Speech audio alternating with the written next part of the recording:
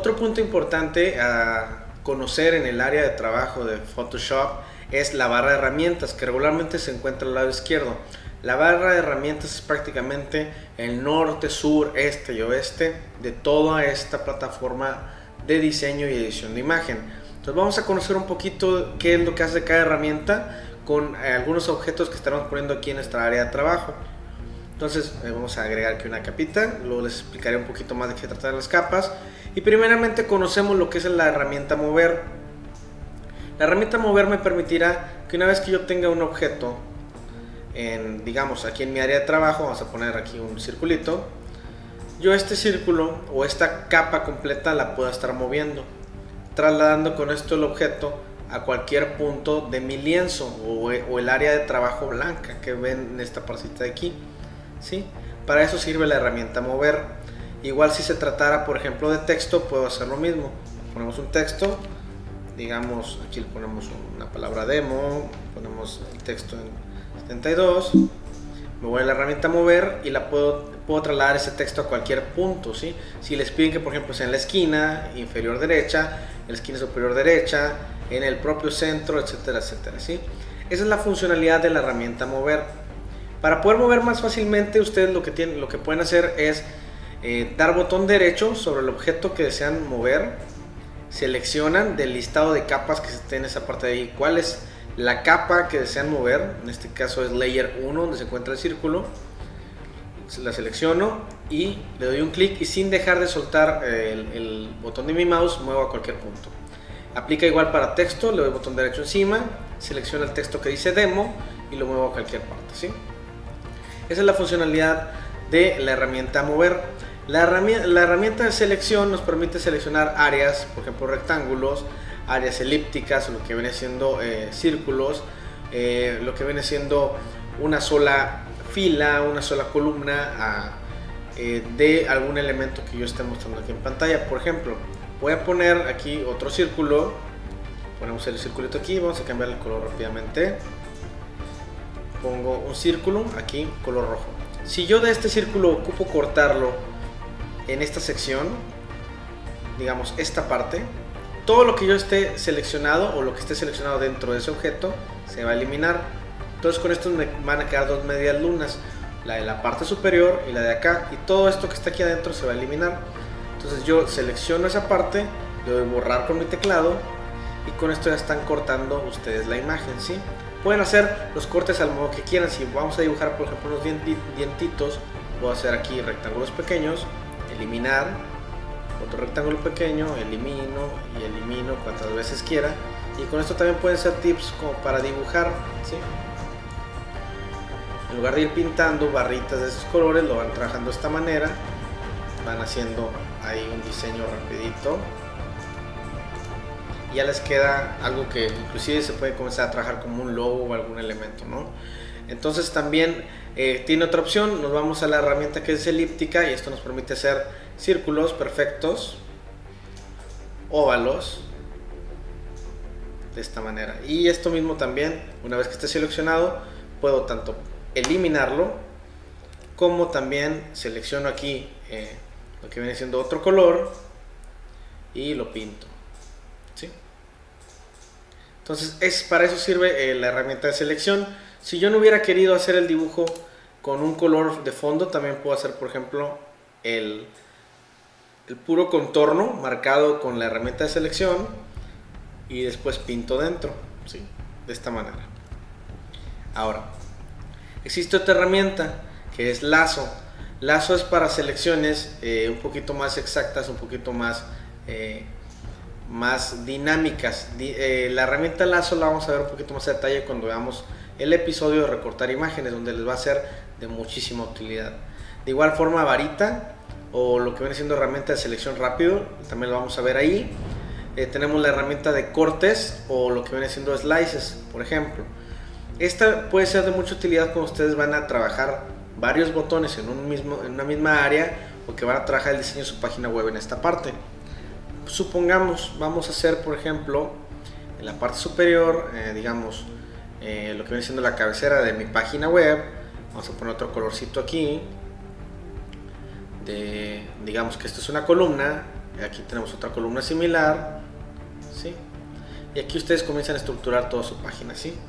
Ponen texto, vamos a poner un texto más cortito, ponen más texto en esta parte, ponen a lo mejor aquí un bannercito rápido, algo así con rectángulo, y en la parte de adentro meterán lo mejor otra vez texto, pero esta vez en color blanco, mm, no sé, por ejemplo, banner, ¿sí? Y eh, lo que permite hacer, por ejemplo, la herramienta de recortar es si yo, por ejemplo, de todo este diseño, ahorita solamente voy a ocupar esta parte, puedo tanto cortarlo, selecciono con la recorte, me sombrea esa parte, yo puedo redimensionarla si es que no está eh, a la medida que yo deseo. Y todo lo que aparezca eh, sombreado se va a eliminar. Para confirmar esta acción, doy Enter en mi teclado y solamente se va a quedar ese elemento. Si yo deseo ese elemento, eh, extraerlo o, obtenerlo en un solo archivo, pero no deseo eliminar lo anterior, ahí es donde entran lo que vienen siendo los slices o lo que vienen siendo herramientas de, eh, de sectores. ¿sí? Entonces, con el slice ustedes pueden trazar un área, por ejemplo, esta de arriba, este recuadro arriba, sería una imagen. Este recuadro aquí sería otra imagen aparte este de aquí me serviría para extraer otra imagen. Aquí, supongamos. Aquí de este botón voy a extraer otra imagen distinta. Y este cuadro de texto también.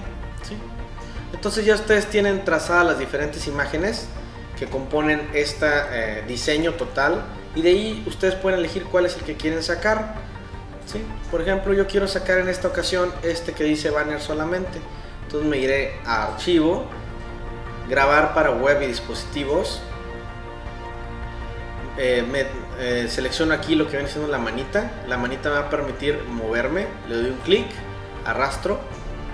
Selecciono el objeto que quiero extraer. En este caso va a ser este, este slice, este de aquí. Se darán cuenta porque lo marca con eh, un marco color cremita y aparte aparece mucho más claro que el resto de los elementos. Y le dan aquí guardar. ¿sí? Ya que le dan guardar, pueden elegir en qué carpeta lo desean grabar. En este caso lo voy a grabar aquí en escritorio. Voy a ponerle eh, cuadro de banner. Le, doy clic en donde dice guardar. Vamos a ver cómo quedó esta parte. Y vemos aquí que nos extrae solamente lo que dice cuadro de banner, que era lo que yo tenía seleccionado. ¿sí? Si desean seleccionar otro, pueden hacerlo a través de la herramienta que está en la parte de abajo de Slice que dice Select Tool. Seleccionamos este de arriba ahora. Lo vamos a grabar para web, dispositivos, ya está seleccionado. Lo voy a grabar y le pongo en esta parte texto loco, por ejemplo. Voy a guardar y ya nos vamos a imágenes y aparecerá ese texto que yo acabo de exportar. ¿sí? Entonces son herramientas eh, básicas, sencillas. No utilizarán mucho la sección de slices pero yo la recomiendo para cuando vayan a trabajar sus botones. Cuando vayamos a trabajar botones, les diré cómo pueden utilizar slices para que sea una estrategia sencilla para no tener que hacer botón tras botón tras botón de manera individual, sino que lo hagan todo en un solo diseño y posteriormente de ahí subdividan o seccionen en varios archivos. ¿sí? eliminamos, vamos a limpiar ahorita esta área. Eh, vamos a quitar algunas cosas aquí, quitamos los slices en el área de trabajo, toda esta parte, muy bien. Mm, se va. Y eh, sigo mostrando las herramientas. Tenemos, por ejemplo, gotero. Gotero, ¿para qué sirve? Gotero sirve para extraer un color de algún elemento que esté en pantalla. Por ejemplo, si yo eh, tengo un cuadro color azul, pero no conozco qué color de azul, tengo, digamos, mi paleta en color blanco y yo quiero pintar algo con ese color de azul o saber qué color de azul es, Utilizo gotero, me voy aquí, donde dice Eyedropper Tool. Le doy un clic encima del área donde yo identifico el color que quiero. Y automáticamente se van a fijar que aquí, en la parte de la paleta de colores, me lo va a seleccionar. De esta manera. ¿sí? Ahí, por ejemplo, tengo varios elementos. Identifiquen en el círculo interior, en la parte de arriba, está el color azul que estoy seleccionando. Si me voy más hacia acá, cambia a blanco. Significa que ese es el que tengo como selección eh, primaria. Y el blanco lo tengo como selección secundaria, tal como los tengo en este lado. ¿sí? Si lo dejo así, tengo en selección primaria o lo que viene siendo colores frontales, el azul y en la parte de atrás tengo el blanco. ¿sí? Ahí tengo seleccionado el azul y selecciono el blanco. ¿sí? Ahí está. Entonces, si yo, por ejemplo, eh, estoy en un color rojo y me quiero pasar rápidamente al azul, eh, tomo gotero y ya tengo el azul aquí seleccionado. ¿sí? Muy bien. Ahora, ¿qué otras herramientas nos da en esta parte? Nos da la herramienta de regla. Para saber cuánto mide un objeto, ustedes le dan donde dice ruler, inician, eh, indican el punto de partida y quiero que vean los cambios aquí en la parte superior. ¿sí? Vamos a medir ahorita ancho. Eh, me coloco aquí, estiro hacia donde quiero medir y con esto me doy cuenta que este dibujo mide 299 píxeles de ancho. ¿sí? Esa es la medida que tiene. Ahora vamos a limpiar la herramienta. Ahora vamos a ver cuánto mide de altura. De altura este dibujito del recuadro mide 341 píxeles de alto. ¿sí? Esto les servirá para que puedan ustedes cumplir la medida de lo que se les está pidiendo en tanto banners como botones. ¿sí? Ahora, tenemos también la herramienta de nota. Esto es si ustedes, por ejemplo, desde aquí desean articular sus archivos PDF, también pueden crearlos directamente en Photoshop con diseño, con sus imágenes y demás. Y pueden agregar una notita en cualquier punto de esta parte. Eh, le dan clic y ponen de aquí cualquier cosa que ustedes deseen. ¿sí? Para eso sirve la herramienta nota. En este caso la voy a eliminar. No es tan útil en cuestión de diseño, pero es importante que sepan que también con estas eh, opciones pueden eh, trabajar eh, lo que vienen siendo documentos PDF. Muy, muy práctico en ese sentido. Habrá cosas que, por ejemplo, no pueden hacer en Word, que pueden ustedes estructurar un documento muy padre en, Photoshop y lo puedan extraer hacia allá. ¿sí?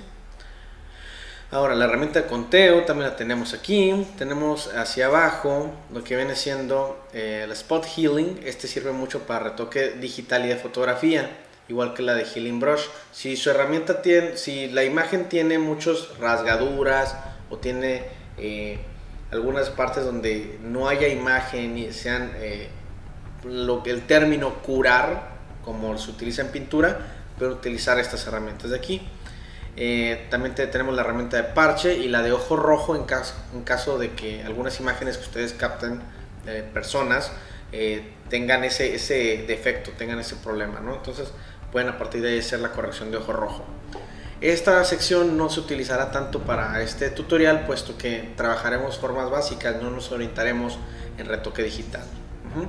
Tenemos los pinceles, tenemos el pincel básico que nos permite elegir en esta parte de arriba formas, eh, colores, más bien formas en general, colores no, colores lo, vemos en la parte de abajo, y qué tan eh, duro qué tan... Eh, fuerte va a ser cómo se va a marcar ese color en específico. Por ejemplo, ahorita tengo seleccionado en, pincel redondo, un pincel de tamaño 5 píxeles, no se alcanza a ver, vamos a hacerlo un poquito más grande.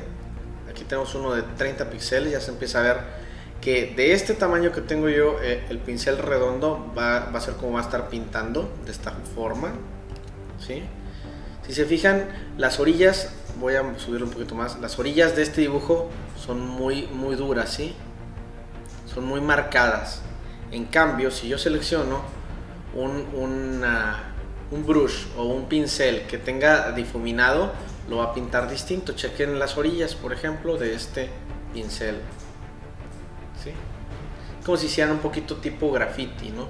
Les permite eh, pintar un poquito más suave eh, las áreas que ustedes quieran trabajar con ello, ¿no? Tiene otros más, tienes pinceles abiertos como este. Tiene también otro tipo de pinceles, tienen los que son eh, más tipo brochita. Eh, tienen también algunos otros eh, efectos prediseñados, por ejemplo hojas. Este está muy padre para cuando quieran ustedes dibujar céspedes o algo por estilo. Les recomiendo pues que utilicen obviamente los tonos verdes en esta parte. Puedo poner aquí varias hojas en la parte de abajo y con esto pueden decorar también ya de forma eh, rápida su diseño o el banner donde vayan a trabajar. Simplemente, por ejemplo, ya de aquí ya llevan un adelanto de su diseño, ponen la parte, eh, no sé, del centro, ponen por ejemplo ecología 101, algo así, minimalista. Y ya esto les permite tener una presentación, les permite hacer un, template y les llevó menos de 10 segundos completar algo así. ¿sí? Entonces son opciones que ustedes pueden utilizar. Los, los pinceles, existen diversos tipos de pinceles y ustedes pueden descargar más, no solamente los que incluye la herramienta.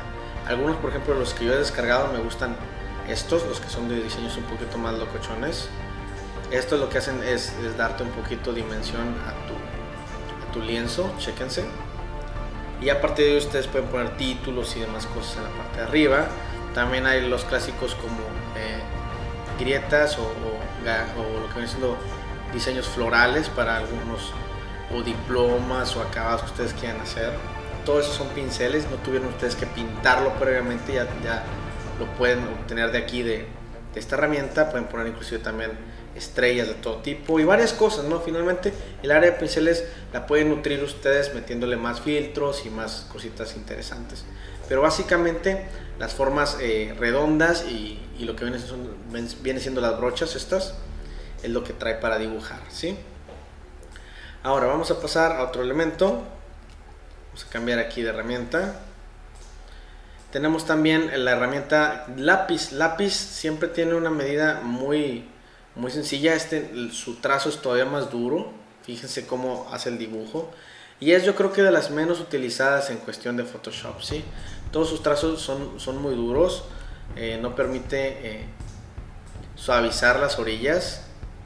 Entonces eh, esto, esta herramienta permite hacer trazos también muy delgados. Más sin embargo sus orillas son muy, muy bruscas. Entonces la herramienta de lápiz no es tan utilizada, eh, les recomiendo mucho la de brush o la de pincel, que es la, más adecuada. Tenemos también lo que viene siendo el, Stamp Clone o Clone Stamp Tool, que lo que sirve es para clonar. Por ejemplo, yo tengo una imagen, vamos a buscar una aquí rapidito, eh, digamos esta, ¿no? Eh, no, vamos a buscar una foto, ¿no? Tengo por aquí una fotografía, vamos a abrirla y digamos que por ejemplo en esta parte de la, de la fotografía eh, hubo algún problema a la hora de la foto, la foto está rayada, tuvo algún problema, eh, le afectaron aquí y resulta que tiene marcado aquí a la altura de la camisa esta raya. ¿no? Entonces, eh, ¿Cómo puedo corregir este elemento si finalmente tengo elementos tipo playera a mi alrededor? Puedo utilizar el, tapón para clonar. ¿sí?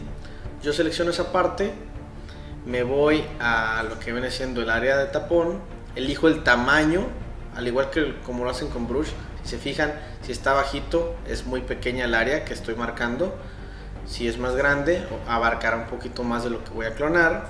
Entonces voy a elegir este voy a obtener los colores para tapar esta línea de aquí, de aquí mismo. Selecciono Alt en mi teclado, cambia el icono de lo que viene siendo el puntero del mouse, le doy un clic, suelto y a partir de ello ya puedo comenzar a pintar este lado. ¿sí? Utilizará los mismos colores, el mismo patrón del lugar donde se encuentra la crucita. ¿sí? Esto en resumen es yo estoy pintando todo lo que está en el círculo y está copiando todo lo que está en el círculo de donde ustedes ven la cruz. Si se fijan el recorrido es muy similar, lo bajo, baja ambos elementos. ¿sí? Entonces están clonando, con eso pueden hacer un poquito de retoque básico. ¿sí? Existen también más herramientas, eh, la que es borrador eh, o la eraser, ustedes la seleccionan aquí pueden comenzar a partir de aquí a borrar. Vamos a poner que el fondo es color blanco. Así. Comienzo a borrar y ya se comienza a ver eh, esta, esta simbología que los cuadritos eh, intermitentes grises y blancos simbolizan que hay transparencia. Entonces yo aquí comienzo a eliminar toda la parte de la playera, puedo comenzar a eliminar el fondo si así lo deseo, etcétera, etcétera. O borrar, ¿no? Simplemente. Entonces una de las formas prácticas de trabajar borrador, ¿sí? A lo mejor, por ejemplo, ustedes tendrán algún icono que tenga alguna orilla o que tenga algo que quieran ustedes quitar, lo pueden hacer con esta parte. Vamos a suponer que yo tengo aquí, uh, digamos este, que dice, este es un icono que tengo de Photoshop. Y a partir de aquí vamos a ponerle rapidito un fondo color negro. Ahí está. Entonces yo quiero eliminar las letras P, pero lo quiero hacer de manera manual con mi borrador. Entonces agarro el borrador, es muy ancho, voy a bajarle el tamaño, bajamos hasta un 54 más o menos, ya cabe, entonces de aquí comienzo a borrar. ¿sí? porque se comienza a ver oscuro? Porque el fondo de mi diseño es color, color negro, ¿no? Entonces comienzo a borrar aquí los elementos o simplemente comienzo a borrar todo el dibujo. ¿Qué tanto borre? Dependerá de la cantidad de opacidad que tenga aquí eh, seleccionada. Si tiene, si el número es 100%, en cuanto yo borre va a borrar de manera inmediata todo, ¿sí? Todo donde yo pase el pincel lo va a borrar a su paso, ¿sí? Si le selecciono 50 o una medida menor a 100, lo que me permitirá es borrar de manera más suave. Si se fijan, va borrando, pero no lo borra completamente. ¿sí? Tendría que dar varios pases sobre la misma área hasta conseguir eliminar completamente mi diseño o mi dibujo. Entonces básicamente borrador lo que hace es eliminar eh, el color o, un, área sobre la cual nosotros estemos atravesando el puntero. Después sigue en esta parte eh, lo que viene siendo el cubito de pintura, que lo que sirve, para lo que sirve es para llenar un área de un color determinado. Si digamos todo este cuadro yo lo quiero pintar de un color, selecciono el color en la parte de abajo, vamos a poner un naranja, le doy OK y tomo mi, cubo de pintura le doy un clic y con eso ya queda pintado en la parte de atrás. Si yo tuviera aquí una figura, también digamos un, vamos a poner un cuadrado blanco, aquí. Tengo un cuadrado color blanco y lo quiero pintar de otro color, también me voy al cubito de pintura, selecciono el color que yo quiero y le doy clic encima. ¿sí? Con esto pueden utilizar ustedes el bote de pintura, es realmente muy práctico. ¿Cuáles son las desventajas que el, que el bote de pintura tiene? que habrá áreas que tienen varios eh, tonos de un mismo color y que tal vez no los pinte de manera adecuada. Ya lo veremos un poquito más en, lo que viene siendo recortado esa parte. Ahora vamos a regresar aquí. Eh, ponemos otra vez el fondo color blanco para seguir trabajando con esto. Ahí está, eliminamos este elemento. Y tenemos lo que viene siendo los de blur, sharpen y smooth. El de blur para lo que sirve es para hacer eh, pequeños borrones a las orillas de una imagen. Vamos a poner otra vez la fotografía con la cual estamos trabajando ahorita. Aquí está. Y eh, de esta imagen vamos a nosotros a utilizar la herramienta blur. ¿sí? Si se fijan algunas orillas están muy marcadas. Vámonos aquí que tienen los, las orillas un poquito más con golpe. Seleccionamos blur. Y esto lo que va a hacer es hacerlo borrosita o la, o la va a desenfocar va a ser un poquito más suave las orillas. Vamos a acercarnos todavía más. Aquí está. Si se fijan, hasta inclusive pone ahí los cuadritos muy marcados. Y con esto comienzo a hacer más suaves las orillas. ¿sí? Avanzo, comienzo a hacer más suave la orilla. Hasta obtener un producto un poquito más con más desenfoque. Más suavecito de toda esta parte que no me dé orillas tan, tan duras o tan, tan de golpe, ¿sí? Se recomienda no utilizarlo mucho porque después se ve muy irreal esta parte de, del blur. Ahora, ¿qué otras herramientas están hacia aquí abajo? Está la de Sharpen. La de Sharpen es contrario a lo que viene siendo el blur. El blur es un desenfoque, el Sharpen es un enfoque. Todas aquellas partes que estén desenfocadas las va a afinar nuevamente, las va a dar, este, sus orillas van a ser más marcaditas, más, eh, más claritas todavía en ese sentido. Ya comienza a todas las orillas otra vez eh, enfocarlas, empiezan a ver los recuadros otra vez de manera correcta como eran originalmente, ¿sí? Y esto ya le da un acabado nuevamente duro a todas las orillas. Por último tenemos la de Smush. La de Smush para lo que sirve es para eh, la función dedo. Si ustedes, por ejemplo, ocupan hacer alguna alteración de alguna imagen, por ejemplo, yo quiero aquí aumentar la sonrisa hacia arriba, le doy un clic y empiezo a jalar poquito a poquito la sonrisa. Hasta conseguir, por ejemplo, una apariencia como esto, ¿no? Si yo por ejemplo quisiera hacer los ojos rasgaditos, de aquí voy tomando esta parte, le voy dando clic y ya me quedaron así medios como extraterrestre, pero de eso se trata. Voy haciendo el ojo un poquito más hacia abajo, lo voy cerrando con esta herramienta. Voy aquí a rasgar un poquito más el ojo, lo voy haciendo más hacia la izquierda y voy cerrando también los ojos hasta que me quedan unos lindos ojitos de borrego japonés de esta forma, ¿no? Lo que hace es estirar, va arrastrando donde ustedes dan clic hacia cualquier otra área.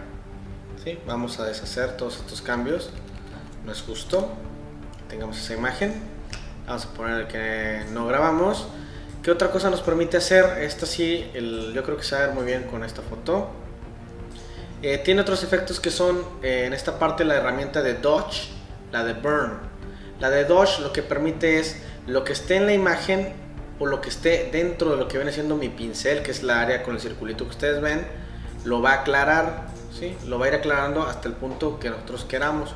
Por ejemplo, yo quiero aclarar aquí la parte donde está el logo. Entonces voy a hacer más, más grande esta área. Ahí ya cubro el logo. Voy a acercar un poquito más. Y comienzo a dar clics. Conforme voy dando clics, se va aclarando más o va mostrando más luz de lo que viene siendo esa área. No se recomienda mucho su uso porque hay, hay cuestiones o hay lugares donde eh, ciertamente va a dañar la imagen. ¿sí? Vamos a, intentarlo otra vez. Ahora en otra parte, vamos a intentarlo ahora en el cuerpo. Finalmente lo que estamos tratando de aclarar ahorita era una playera negra, ¿no? Entonces, por ejemplo, si yo me quisiera hacer aquí un poquito más, más güerito, utilizo la herramienta de Dodge y con esto empiezo a poner más luz sobre mi cara, ¿sí? Aquí también la parte del cuello, vuelvo a subir a la cara, ya me estoy haciendo un poquito más clarito. Ojalá fuera tan sencillo hasta que queda un hermoso gringuito de esta manera, ¿no? Una cosa así rápida. Es importante que eh, sepan más o menos qué medida van a ustedes trabajar de esta parte para que no les quede muy brusco el golpe de, del retoque. Por ejemplo, ahí es un color natural, estoy un color aceptable. Ahora, también existe el, el efecto contrario, en vez de aclarar, pueden ustedes oscurecer más esa parte de la imagen y para eso nos vamos a la que dice Burn la herramienta Burn permite hacer lo contrario. Vamos a hacer más grande el pincel. Y aquí voy recorriendo la fotografía, ya se comienza a ver más oscura. Vuelvo a recorrer toda la foto. Eh, la imagen se comienza a ver más oscura, más oscura, más oscura, hasta que prácticamente solamente la sonrisa se va a ver, ¿no? Esos ligeros retoques de fotografía, eh, cosas rápidas para poder trabajar la luz en sus imágenes, ¿no? Ahora, eh, ¿qué otras herramientas tenemos? Tenemos Pluma, que veremos eh, más a detalle en, en, el capítulo de recorte. Tenemos la de texto, que va a ser de las más básicas. Ustedes eligen la de texto y les permite poner texto de forma horizontal, texto de manera vertical, ¿sí? Entonces vamos a elegir horizontal y ponemos un texto aquí. Le ponemos horizontal, ¿sí? Lo que viene siendo tamaños y colores lo pueden elegir eh, desde aquí arriba, aquí está, este es el tipo de letra, aquí les aparecerá el peso, si es eh, normal, si es negrita, aquí les aparecerá el tamaño de la letra, ustedes también lo pueden eh, ingresar de manera manual, por ejemplo si quiero un 100, aquí le pongo que sea tamaño 100 la letra, el tipo de borde, si quieren que sea suave, si quieren que sea más marcado, o lo que es la orientación, izquierda, al centro o derecha. Y también eh, de manera práctica pueden utilizar también lo que viene siendo el menú de, de, caracteres aquí al lado, que tiene varios elementos. El tipo de letra, el peso de la letra, lo que les mencionaba, si es negrita, si es eh, regular, el tamaño de esa letra, el separado entre lo que viene siendo eh, varias líneas, por ejemplo, eh, si le ponemos aquí texto horizontal, ¿sí? El alto entre cada uno de estos dos textos actualmente es de tamaño 6. Yo aquí le doy un clic y lo puedo aumentar ese número y el texto, el texto que esté eh, en punto de aparte o en la segunda línea se va a ir moviendo hasta que yo encuentre la medida correcta. Si no lo quieren hacer a mano, también pueden seleccionar el modo auto o modo automático. Otra cosa que también tiene es el separado entre letras. Ya separamos palabras entre dos líneas, pero también podemos separar las letras entre sí, que es este de la parte de abajo. Selecciono esta opción y comienzo a aumentar el tamaño entre las letras, de esta manera. Otra cosa que tiene es, eh, ya que tengo yo el texto escrito, qué tamaño quiero que tenga ese texto hacia arriba y hacia abajo. La medida siempre la va a hacer igual, la va a escalar. Vamos a poner una sola letra. Ponemos la letra T, aumentamos aquí el tamaño de esa letra. Vamos a ponerla en 270, una cosa así. Exagerando, vamos a poner un 350. Aquí está. Entonces tengo la letra. La letra yo quiero que se haga más chica de altura, ¿sí? pero no quiero que se haga más chica de ancho. Entonces vamos a bajarle la altura con esta opción de la izquierda. Entonces le voy a poner que de altura va a tener un 50% de lo que tiene actualmente. Le doy un enter y ya se bajó de altura pero no de ancho. ¿sí? Si yo quiero regresarlo a su tamaño normal, le vuelvo a poner nuevamente 100. Ahora, si lo quiero hacer más delgada la letra, pero que con esto no pierda altura, selecciono la opción de la derecha, esta que está aquí. Le pongo que tendrá un 40% de ancho. Se hace más delgada. ¿sí? Para eso sirve. Ahora, eh, estas opciones son para los eh, superíndices e índices. Aquí aparece el color. Le dan clic y seleccionan el color que ustedes quieran ¿sí? de la tableta. Eligen el color de aquí, mueven aquí su paleta para eh, obtener otras gamas o otros tonos hasta que encuentren el color deseado. Le damos OK. En esta parte de abajo son opciones básicas de texto, lo que viene siendo negrita, cursiva, si tienen varios textos, vamos a poner aquí la palabra texto. O bueno, creo que sí, sí cabe toda, vamos a ponerla toda. Uh, la letra. Aquí está. Aquí está el texto. Está completa la, la palabra. Selecciono toda la palabra. Y si quiero que, por ejemplo, sea en formato título, le doy aquí, clic y todas las letras me las va a pasar a mayúsculas. Si quiero que sea eh, con eh, small caps o lo que viene siendo la primera, todas en mayúscula, pero las, las, que son después de la primera letra sean un poquito más pequeñas en tamaño, sería el de small caps, que es este, es este de aquí. Se fijan, siguen siendo mayúsculas, pero son más pequeñas que la primera letra. También tienen la que es eh, superíndice, que es esta de aquí, o esta de aquí,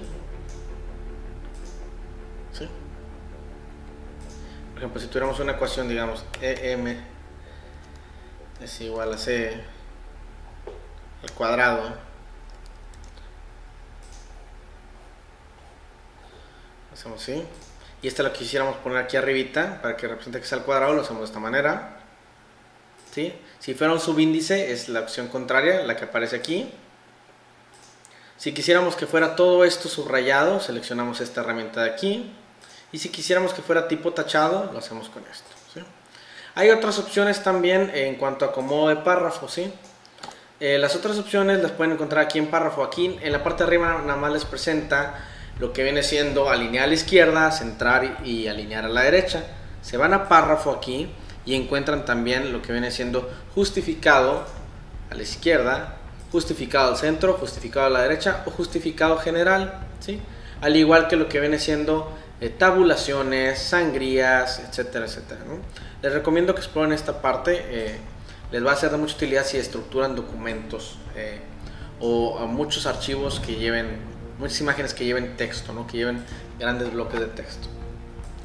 Otra herramienta que tenemos aquí es la de selección de patrones. Nosotros no vamos a trabajar ahorita con patrones, entonces no afectará lo que estamos haciendo. Vamos a saltarla. Tenemos la que son formas, que ya lo veremos en un siguiente tutorial.